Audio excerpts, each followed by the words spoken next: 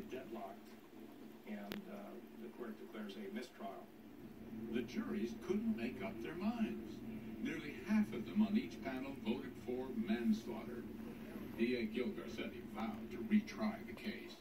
We have an ethical, professional, and moral responsibility to go forward with this case as a first-degree murder case. But before that second trial could begin, O.J. happened. And suddenly the stakes were even bigger. Mr. Garcetti was very upset about the fact that we couldn't win the big one. And when O.J. Simpson went home at the end of his trial, it was very hard in the DA's office. We were, you know, nationally considered to be the kind of losers. The second Menendez trial began just eight days after O.J.'s acquittal, with Judge Weisberg presiding again. The same judge, the same case. This time, the trial was fun.